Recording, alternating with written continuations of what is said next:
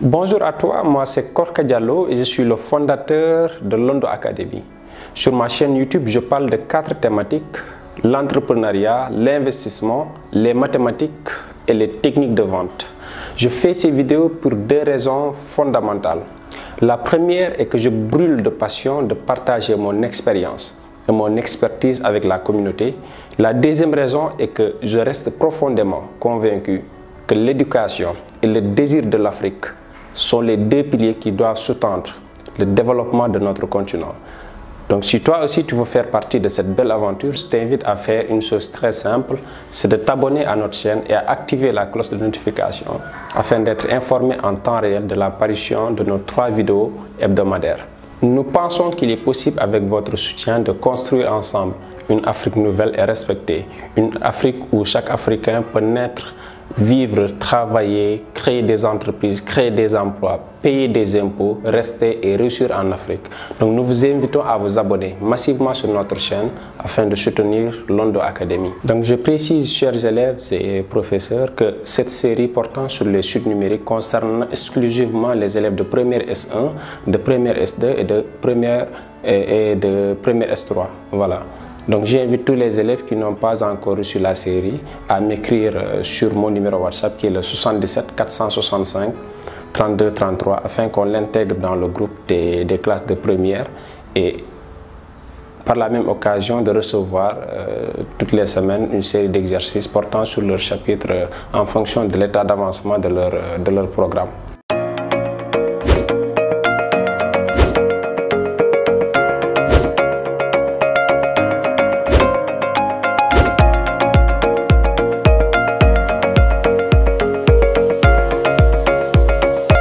L'exercice 1, on vous a donné des questions et on vous a donné des réponses. Et on vous demande de cocher la bonne réponse. Donc pour la question 1, donc on vous a donné une suite qui est égale à un qui est égal à moins 0,8 à la puissance n. Et on vous a donné trois réponses. Donc on vous demande de choisir la bonne réponse. Lequel parmi ces trois réponses est la bonne réponse?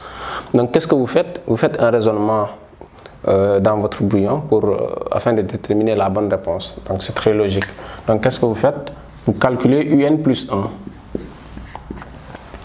un plus 1 est égal à moins 0,8 à la puissance n plus 1. Donc là, vous avez n et la n. Donc si vous faites un plus 1, là, vous aurez n plus 1. Donc vous avez un plus 1 qui est égal à moins 0,8 à la puissance n plus 1. Donc qu'est-ce que vous faites? Vous décomposez les n plus 1, n'est-ce pas? Donc là, vous avez qui est toujours égal à moins 0,8 à la puissance 1 que multiplie moins 0,8 à la puissance n. Donc rappel, vous l'avez fait en classe de 5e, que a à la puissance n plus m est égal à a à la puissance n fois a à la puissance m. Donc ça, vous l'avez vu en classe de 5e, n'est-ce pas?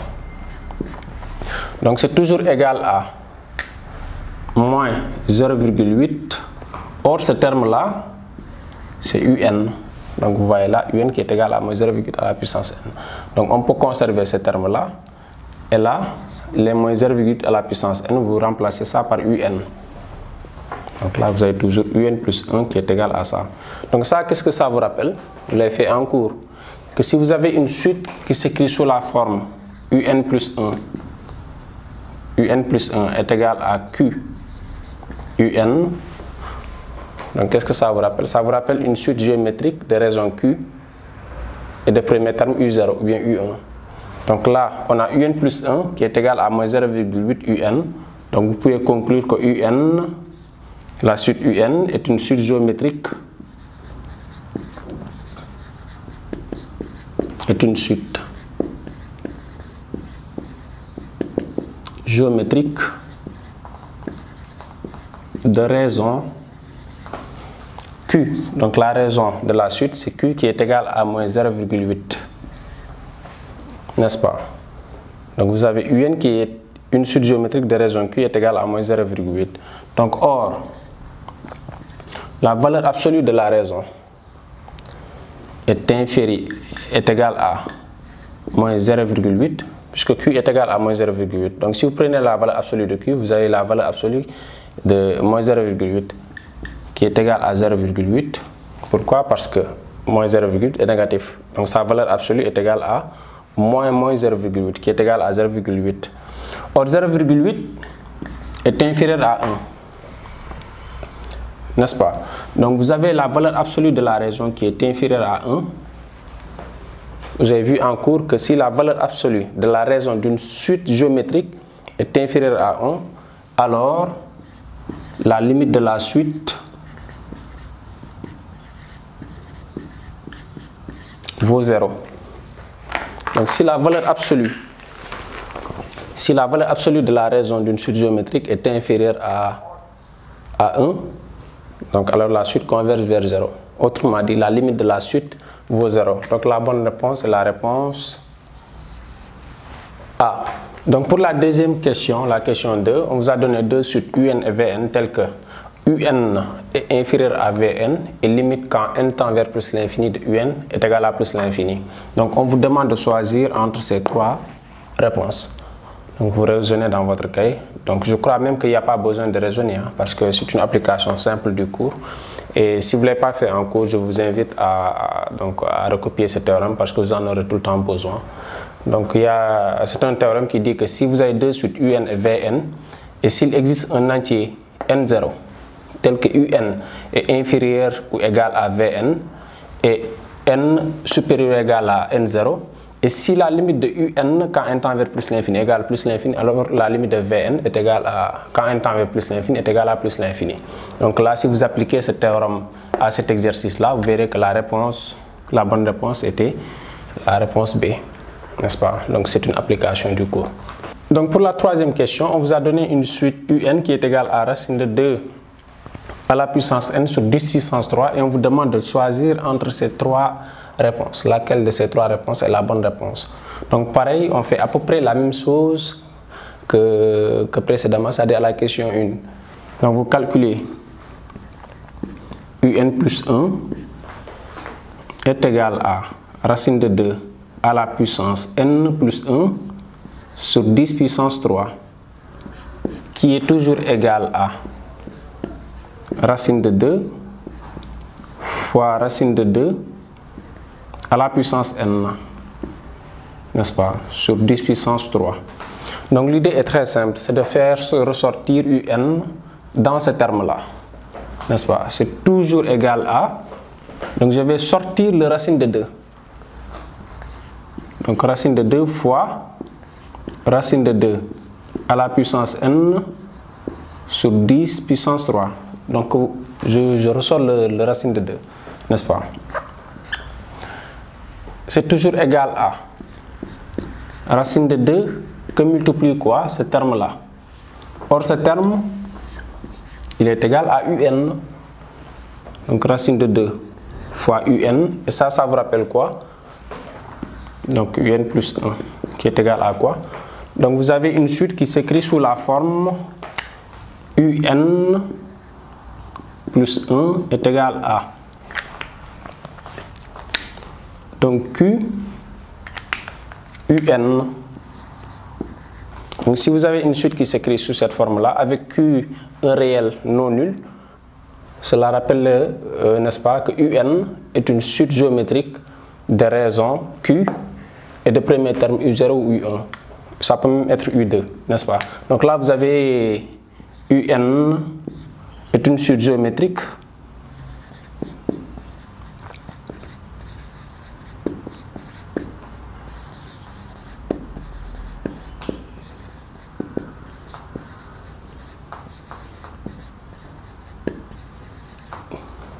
une suite géométrique de raison Q est égal à racine de 2.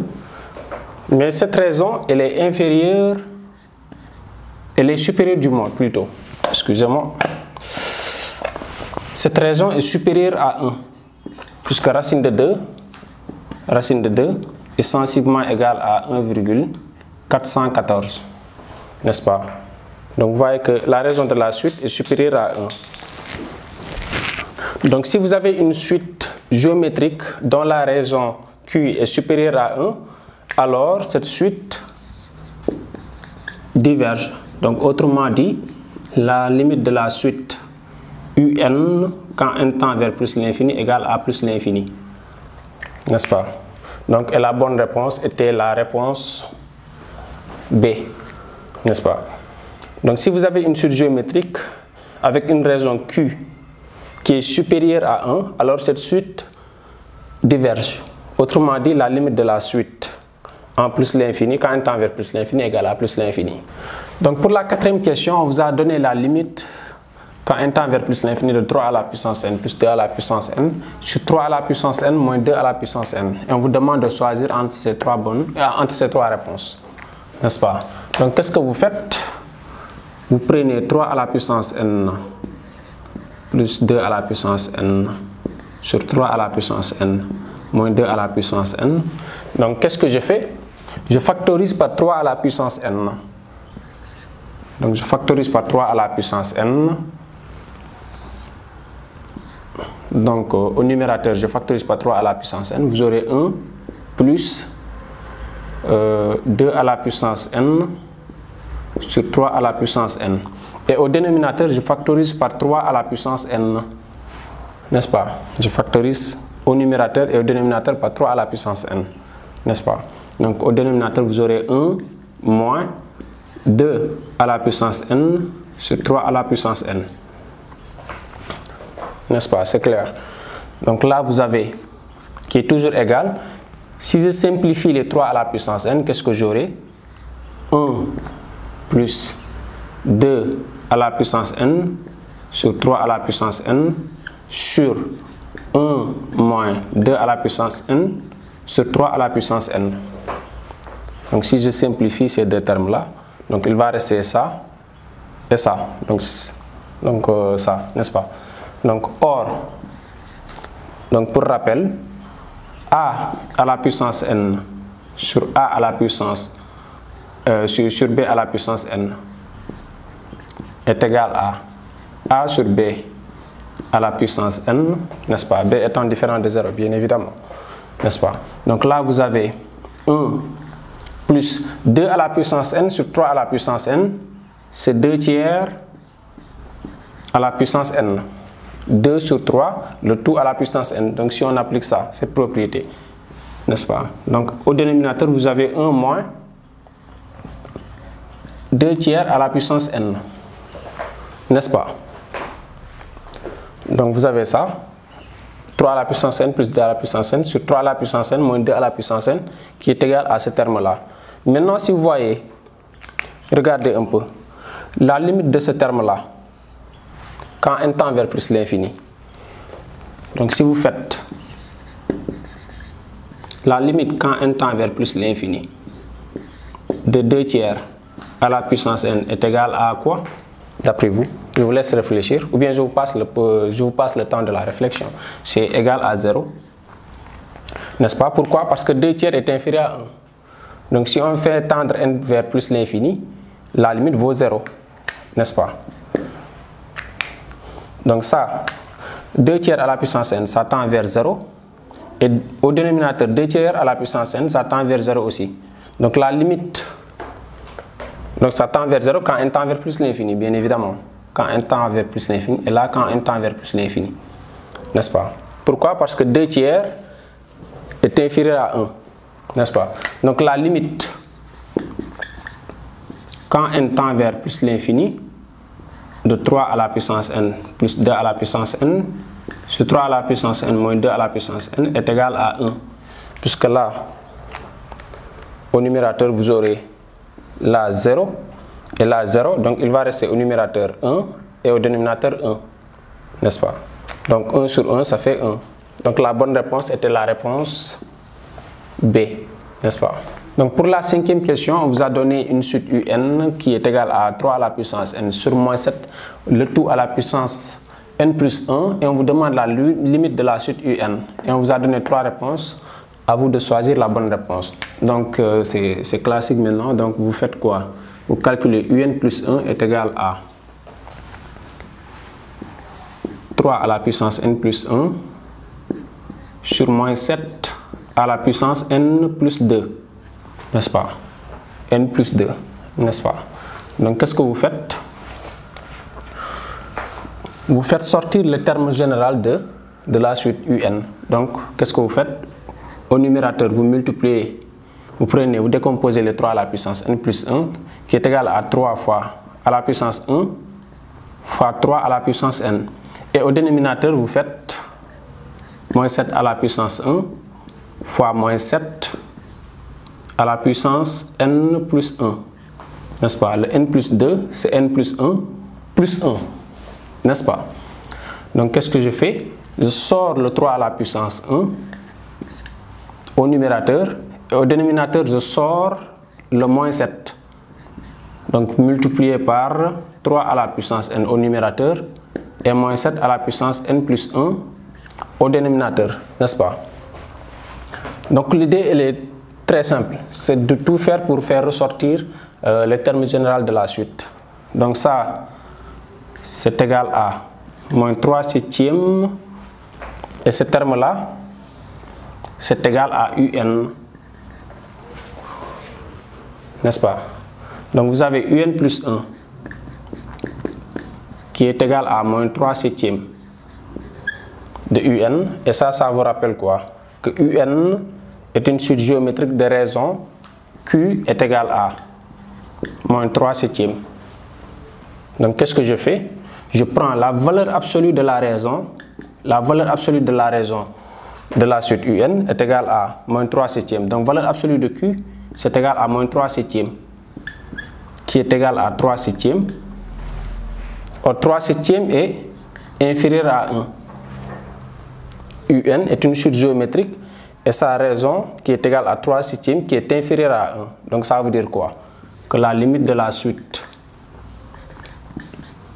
quand n tend vers plus l'infini, la limite de la suite est égale à est égale à 0. Pourquoi? Parce que la valeur absolue de la raison de la suite géométrique est inférieure à 1. Donc la bonne réponse est la réponse, la réponse B. Donc pour la sixième question, on vous a donné une suite euh, UN qui est égale à ça et on vous demande la limite de la suite. Et donc vous choisissez entre euh, ces trois réponses, laquelle est la bonne réponse? Donc là vous remarquez que UN est égal à 1. Le 1, c'est égal à moins 2 à la puissance 0. Donc l'idée est de faire ressortir dans cette somme-là un terme qui, qui, ressemble à moins 2 à la puissance n. N'est-ce pas? Donc là, vous l'écrivez, le 1, vous l'écrivez sous la forme de moins 2 à la puissance 0. Et le 2, le moins 2, donc c'est égal à plus moins 2 à la puissance 1. Et 4, c'est égal à 2 moins 2 à la puissance 2, n'est-ce pas Moins, etc. Plus moins 2 à la puissance n. N'est-ce pas? Donc ça, si vous remarquez, c'est la somme des termes, euh, des termes, c'est la somme des n plus 1, premier terme d'une suite géométrique de raison, moins 2. Donc c'est égal à quoi? Le premier terme, qui est égal à moins 2 à la puissance 0, qui est égal à 1. Donc ça fait 1 multiplie 1 moins. La raison, c'est égal à moins 2 à la puissance nombre de termes. Le nombre de termes, c'est de 0 jusqu'à n. De 0 à n, il y a n plus 1 terme. N'est-ce pas? Et sur 1 moins la raison. La raison, c'est égal à moins 2. N'est-ce pas? Donc c'est toujours égal à 1 moins moins 2 à la puissance n plus 1 sur 1 moins moins 2. Moins moins 2, ça fait plus 2. Et le 1 là, donc ça fait 3. Donc vous avez un qui est égal à 1 moins moins 2 à la puissance n plus 1 sur 3. Donc si vous voulez calculer la limite de la suite, vous voyez bien que la limite de la suite dépend de ce terme-là. N'est-ce pas? La limite de un dépend de moins 2 à la puissance n plus 1, puisque 1 et 3 sont des constantes. N'est-ce pas? Mais si vous avez bien remarqué que moins 2, il est inférieur à moins 1. Ça aussi, c'est le cours. Hein? Je vous conseille de bien apprendre le cours pour ne pas avoir des, des, difficultés à traiter euh, donc les exercices.